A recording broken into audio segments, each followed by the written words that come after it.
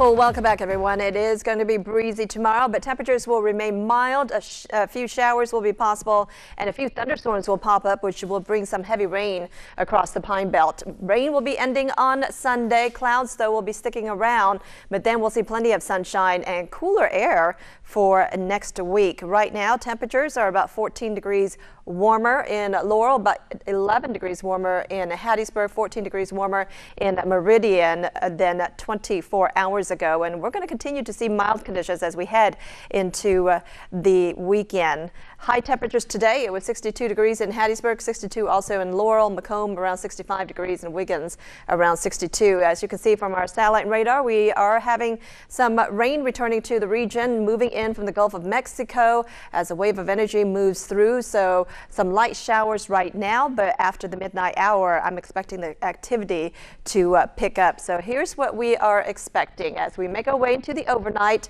It looks like uh, just a few showers, and then by 6, 7 o'clock, all that will be moving into our region. The yellow that's showing up, that's some of the moderate to heavy rain that will be coming in as thunderstorms uh, start to move in as well. So by 8 o'clock, uh, we are going to continue with the rain on Saturday and then a few more showers remaining for early Sunday, but I think the activity will start to taper down by the end of the weekend. As far as rainfall estimates, anywhere between about an inch and a quarter down to around two inches in some locations. There will be pockets of heavier rain where we're going to see those thunderstorms develop. So uh, especially along the coastal regions, but we are expecting some heavy rain to move in mainly on Saturday. Again, I think with just a few showers will remain for Sunday, but overall, the activity will start to taper off.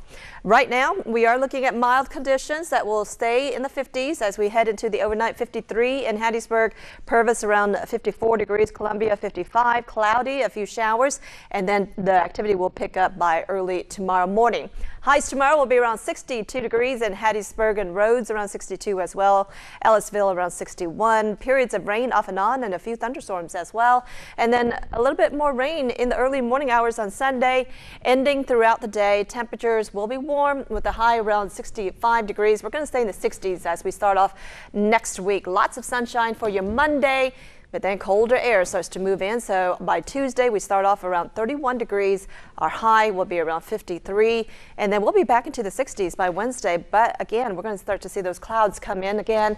And we have another system coming through. So there could be more thunderstorms on Thursday and Friday. And then we start to cool down as we head toward the weekend. But yeah, get your umbrellas ready. And hopefully you can dodge the rain yeah. over the weekend. It's going to be a wet one. Be able to do mm -hmm. that. Yeah. yeah.